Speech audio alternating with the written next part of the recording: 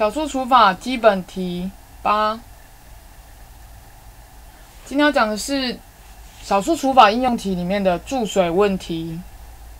如果有一个水池，长四公尺，宽二点五公尺，高一点八公尺，要把它装满水，那水管每分钟可以注入零点三六立方公尺的水。请问一下，注满这个水池需要几分钟？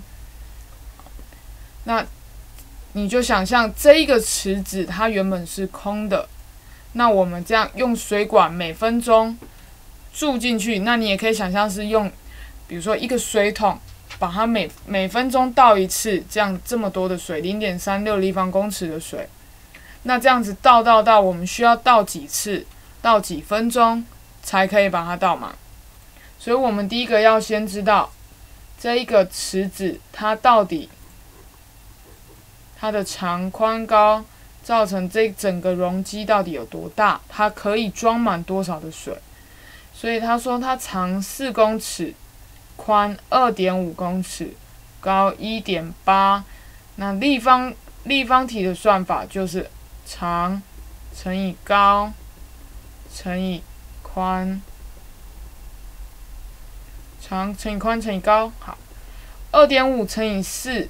我们在旁边先用直式来计算，四五二十，四二八加二十，小数点一位，所以我们从后面算过来一位，划掉，等于十。十再乘以一点八，一点八乘以十，直接把小数点往后移位，变成十八。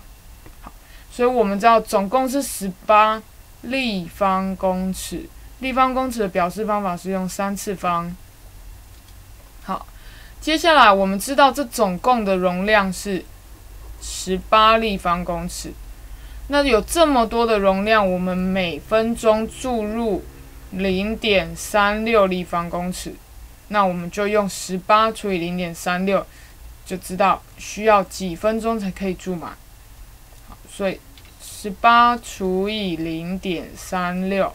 我们用直式的来计算，十八除以零点三六，除数有两位，所以里面跟着加两位。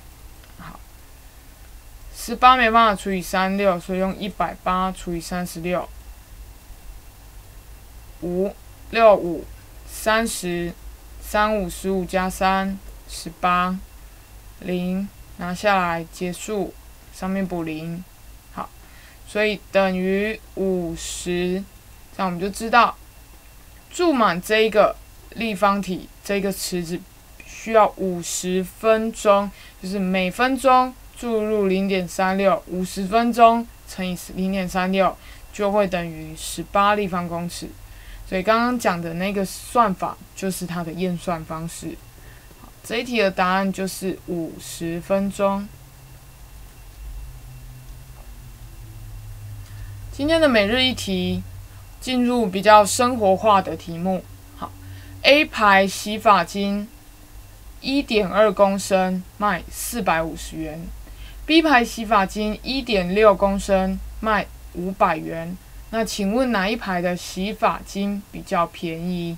每公升会便宜多少元？那请同学回去自行作答。那我们在小数除法基本题九里面就会详细的讲解。谢谢大家。